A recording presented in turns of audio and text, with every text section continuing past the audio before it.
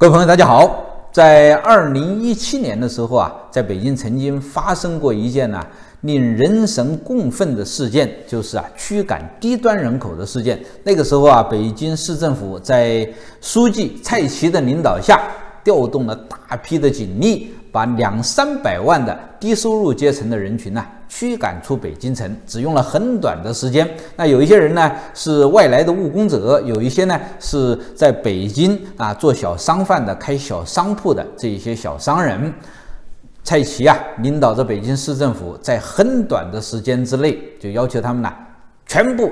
离开北京，那那些警察就强行的进入他们的住宅，进入他们的商铺，把他们的东西啊扔到大街上。那个时候啊，正值这个天寒地冻的时节，所以那个景象啊，令人呐非常非常的痛心，非常非常的气愤。现在呢，这个驱赶低端人口的任务，我估计蔡奇他们呢是基本完成了，所以现在他们又向。中下等收入的这些人群开始下手了，像北京本地的啊中下层的居民开始下手了。在前几天呢，北京昌平的有一个啊社区叫做香堂文化新村，他们的居民呢就接到了一个通知，说是十五天之内搬出这个小区，然后呢政府要对那个地区进行强拆。这个香堂文化新村呢，一共有三千六百多户人啊，大概有上万人的这个居民啊。接到这个消息之后，当然大家是啊义愤填膺啊。这两天呢，就有几千人到昌平的啊，到昌平。这两天呢，就有几千人到昌平区政府门口啊去进行抗议示威。但是呢，我估计啊。这么抗议示威，这么维权呢？可能效果啊不是太好，很难达到维权的目的啊。从过去北京市政府他们呢驱赶低端人口啊，这个狠劲、这个雷厉风行的作风看起来啊，仅仅几千人去抗议那是起不到作用的。那这一次强拆的一个对象啊，它有一个啊很特别的地方，就是这些业主都是所谓的小产权房的业主。什么叫小产权房呢？就是啊，在农村集体所有制土地上盖起来的这些房屋啊，在新建过程当中啊，他们没有经过这个北啊土地管理局的转让土地使用权的这种许可，也没有交纳土地转让金，但是呢，他们就把整个小区给建起来了啊，这是由啊当地的乡镇一级的政府跟他们呢。一起来合作啊，一起鼓励他们呢来建的，所以最后呢，乡镇一级的政府啊，就给这些小区这些房屋啊发放了产权证书。但是呢，这个产权证书得不到区县一级的，得不到省市一级的，得不到中央一级的这些政府的认可，也得不到法律的保护。所以说啊，这些买家，这些小产权房的买家，他们拿到了这个。乡政府发的这个产权证书之后啊，实际上啊，他们拿到的是一纸空文，根本啊是没有任何保障的。拿到这个证书之后啊，他们呢实际上就变成了任人宰割的对象。比如说啊，前一段时间呢，国土管理局就发布了一个文件，一个规定呢，叫做《关于农村集体土地确权登记发证的若干意见》。根据这个意见呢，任何一级的政府都可以对这些小产权房进行罚没啊、罚款、没收，还有啊强拆。而在这个罚没和强拆的这个时候啊，可以不给这些居民、这些业主啊任何补偿啊，也可以根据当地的情况酌情的给予少量的补偿。比如说这次湘潭文化新村的居民呢，他们每个人啊。就由当地的政府啊给他们啊每平方米一千块钱的补偿，但是这个补偿啊实际上是杯水车薪，还不到他们呢买房价钱的十分之一，所以当地的居民依然是啊会承受巨大的经济上的损失。大家不要以为啊这个香堂文化新村的居民呢在全国是一个独特的群体，不是的。这个小产权房在中国啊是一个啊非常普遍的一种现象。按照国土管理局的统计数据啊，在全国一共有十几亿平方米的房屋是属于小产权房。这个数据啊，可能还是不够准确的，因为很多小产权房它并没有报给啊国家土地局去备案。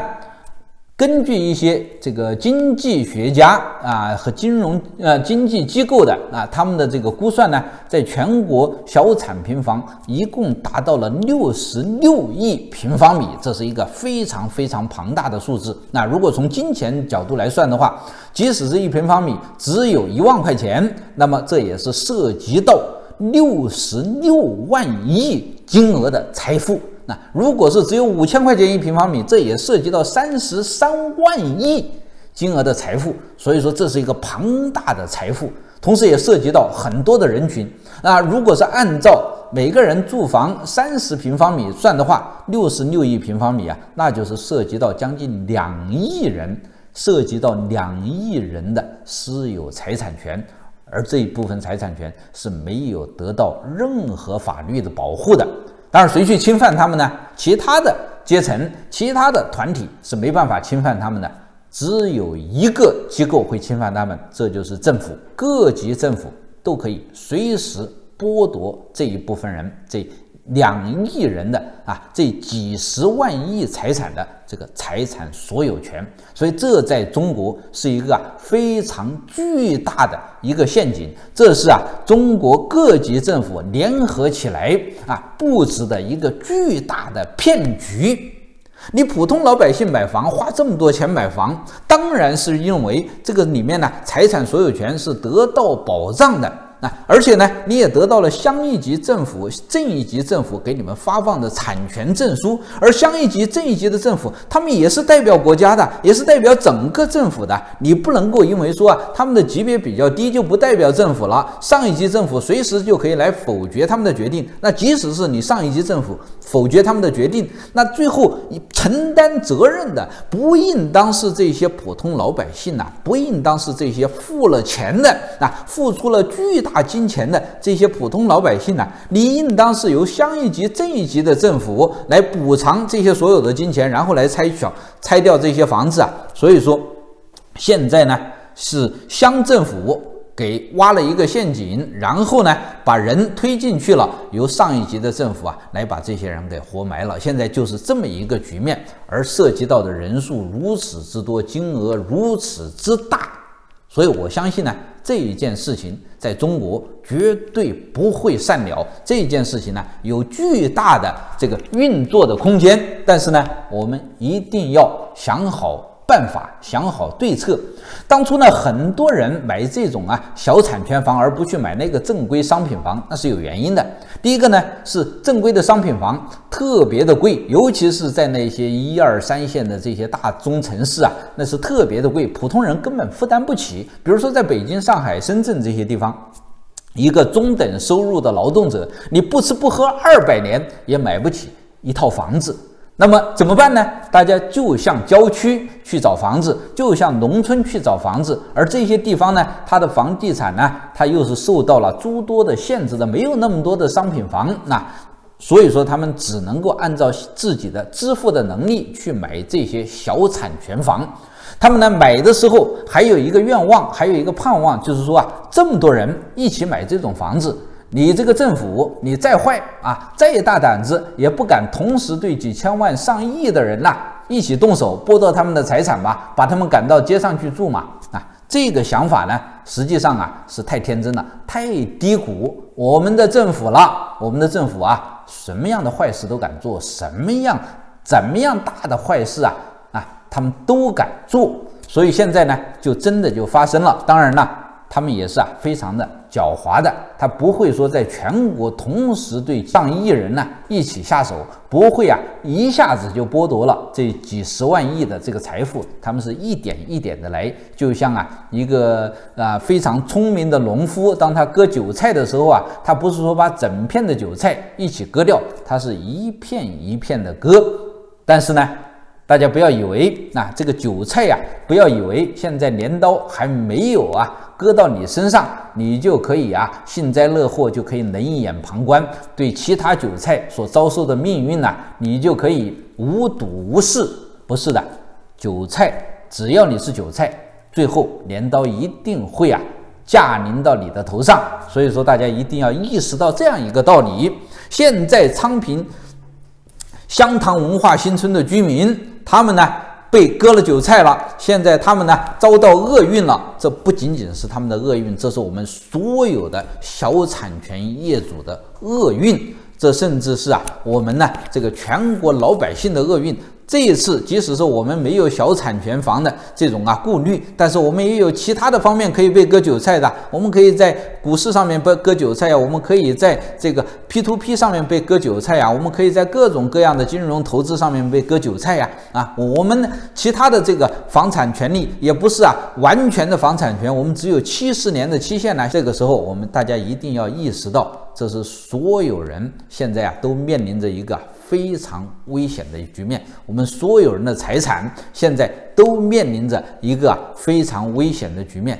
那一个小区的这些小产权房的业主维权，那是起不到作用的。最后啊，一定是被他们拖垮，一定是被他们拿糊弄过去，甚至一定被他们镇压。怎么办呢？只有更多的小产权房的业主联系起来啊，大家扩大行动的规模。就会啊增强行动的力量，有了这个力量，我们维权才能成功。比如说，在昌平，如果出现了十万小产权房的业主一起来进行抗议，大家想一想，昌平区政府他能够扛得住吗？当然扛不住。如果在北京出现了一百万小产权房的业主一起上街抗议，北京市政府他敢胡作非为吗？当然不敢。现在在北京，小产权房啊就有非常多，尤其是在昌平和通州这两个区啊，非常的多，加起来人数可能不止一百万。大家是时候联系起来了。现在在全国有这么几千万、上亿的人，大家是时候联系起来了。怎么样联系起来呢？首先就要通过互联网的这个社交媒体联系起来。现在大家都用微信，微信当然是很方便。但是呢，微信有个弊端，就是啊，你的这个信息啊，特别容易被跟踪，特别容易被监控。然后我们监控了之后啊，这些这个人员，这些积极的组织者、串联者，就会被他们定位，就会被他们呢重点打击。所以用微信联络啊，风险非常的大。我不是说完全不可以，风险非常大，特别容易被他们破解。现在呢，有一个通讯软件。要跟大家推荐，就是电报，叫 Telegram，这是一个啊，全世界啊上亿人在用的一个通讯软件，尤其是各国的这些抗议者、这些维权者现在在用的一个软件。这个软件呢，它有几个特点。第一个呢，它是可以保密这个使用者的身份，你上去登记不用你的电话号码，不用你的电子邮件，你可以啊把它隐藏下来。